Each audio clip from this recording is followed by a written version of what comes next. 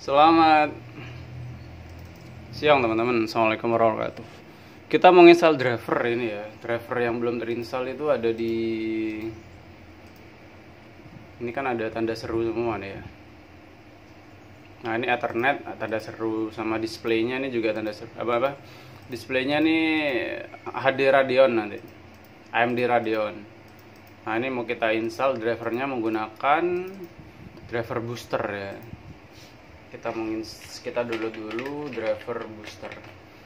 Ada tiga sih driver booster driver reviver sama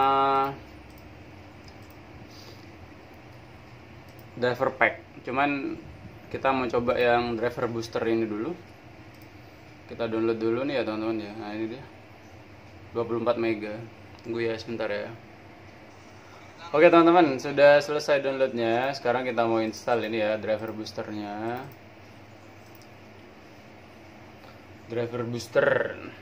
Kita mau install drivernya nih ya. Preparing for driver booster. Kita lihat seperti apa ya. Install. Yes, install.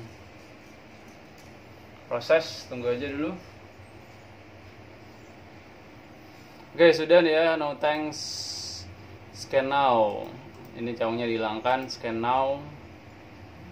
Kita mau lihat. Scan.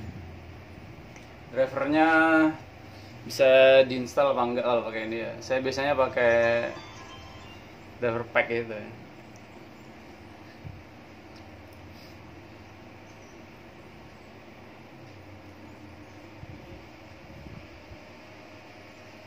Oke, 93 persen.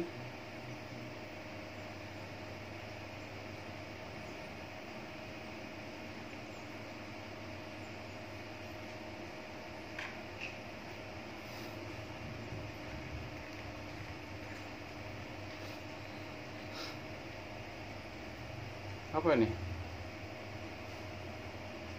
Oke deh.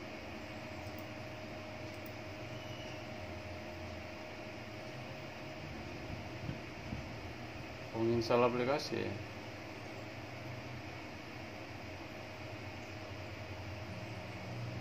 Waterfog sebentar install Waterfog oke ini dia display adapternya standar VGA oh ini diupdate ya? Minta diupdate.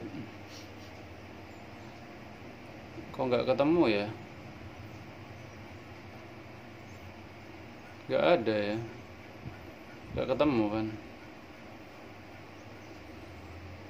Ini displaynya ini ya. Kita cek aja dulu nanti ya bisa apa enggak ya? Update now wis semuanya wis oke.